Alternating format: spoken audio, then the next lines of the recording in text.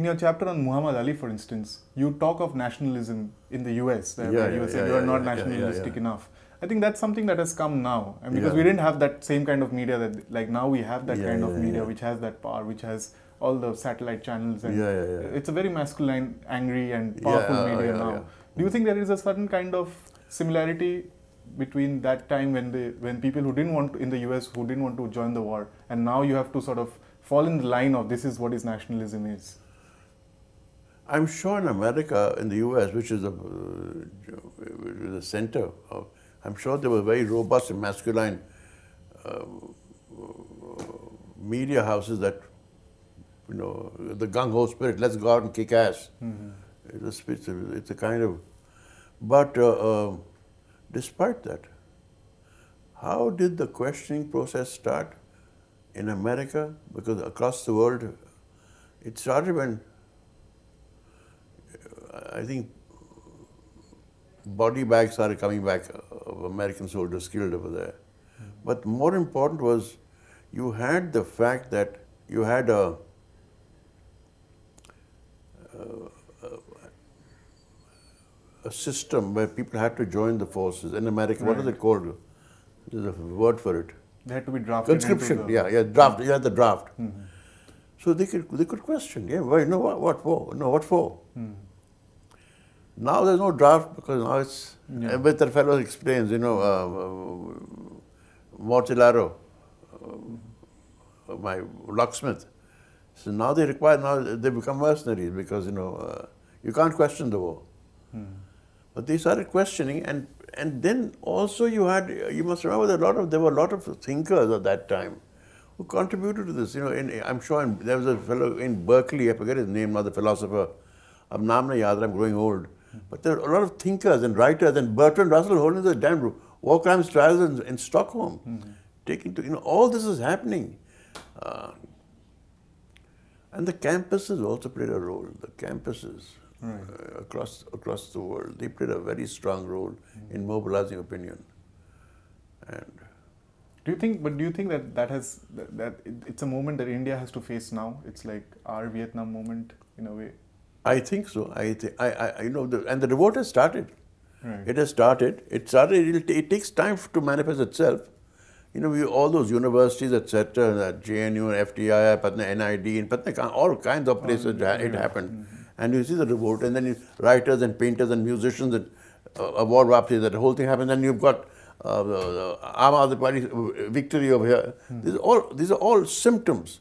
They're all of a larger idea, Right. of a revolt. You know, and it does take form and shape, and it'll and it'll happen. There's been an upsurge of an independent uh, documentary and filmmaking movement in India too Hmm. in the last few years. Like much as the censorship has been very heavy, Yeah. there has been an opposite wave almost that okay, the Yeah. more you censor, the more films we'll make, Right, and the more right. will people know about it, Yeah. the more we will show these films in separate outside of film festivals, official film festivals, in different kinds of festivals. Do you think that's that's something uh, that that's a, there's a glimmer of hope in the film movement? also? Absolutely, absolutely. Uh, you know the the thing with with with with with with with, with any uh, fist that is trying to crush, they don't never realize it spills over into all kinds of dinner. A lot of things happen along with that, you know, and it's going to happen. And yeah, look Uh, this country has been through a hell of a lot over 70 years. It can't be put back into the into the bottle again. The genie is out. Right. The genie is out. अब तुम क्या करोगे? You, do you know? Have you been to Kashmir? I've been there. They've lost the fear of death. They've lost the fear of the army. It's incredible. Nobody's talking about it. Right. They don't mind dying. So how many people can the army kill? It's an incredible thing. These same quiet people have lost the fear of the CRPF or the BSF or the army. Hmm. They're pelting stone that. Hmm. God, how did it happen? How did it is after years and years of shit. Thakana aa gai, hmm. the tiredness in the soul. They've seen too much. The tragedy is we have not understood it. Right. We've not understood it. Really, the best thing is what you've said that the genie is out and it can't be put back. Yeah, the genie is out. And it's out in the campuses. It's out in the campus, out in the streets, and and, and, and hmm. it's out in the street because it, it, is, it is out in the streets at the Delhi election. Right. Nobody's talking about it. I'm talking about it. It is out on the street. And ordinary people. And they took on the. And they, they said what they had to say.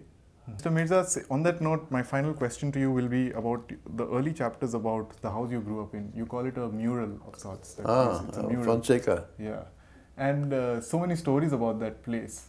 Um, I mean, This is only a glimpse. as It was much more, much more colorful. It was incredible. absolutely. I didn't tell you about the, the, the behind the behind that there was the driver's quarters, you know, and the people who, incredible, and the relationship.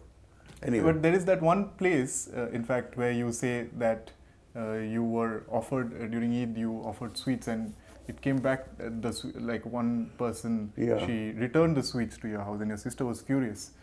But uh, there is also a moment of compassion, and you say that okay, I understand the pain that this woman might have gone through. Uh, But at the same time, it seems to be a place where people are living together.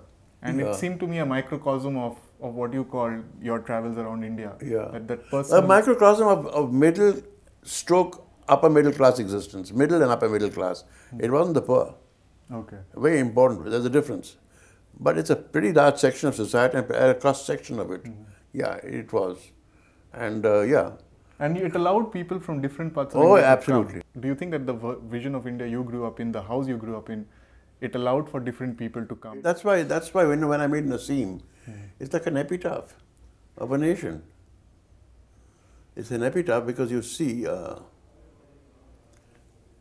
the idea of an, of an India, which is you know, which is personified in a constitution. That's what we said is what we want our nation to be. We presented this uh, this image or this dhacha to ourselves as a people and to the world. This is what India is all about. It's the constitution, and there's a lot of poetry in it. Right. And it's all being eroded over time. So I made Naseem, which was the epitaph, over. Hmm. Much beyond Mr. Kya Khilnani fellow, hmm. idea of India. No, because you know, uh, uh the idea of India, but then you, uh, I started traveling And then you, re- you regain faith again. You know, just घूम रहे हैं ordinary लोग से मिल रहे हैं बातचीत हो रही है भाई निकल रहे हैं Thank you very much, sir, for your time. Take we care. hope that uh, the next is is an is another book coming out, a film, something coming I've out got to soon? understand this book. I'm going to write a, a, a, a, a part two. Okay. To understand this book, I've got to write another book to understand this book. As We to where I went right and where I went wrong. I will be stalking you outside IIC as I was this time to interview again when that book comes Okay, out. Thank you very much, sir, for your time. Take care. And thank you very much for talking to me. Thank you. Wonderful. Thanks very much for watching us. Uh, please make sure that you subscribe to our channel to keep looking up new interviews, and we hope all the very best for Mr. Mirza and this book. Make sure you buy it and read it. Memory in the age of amnesia.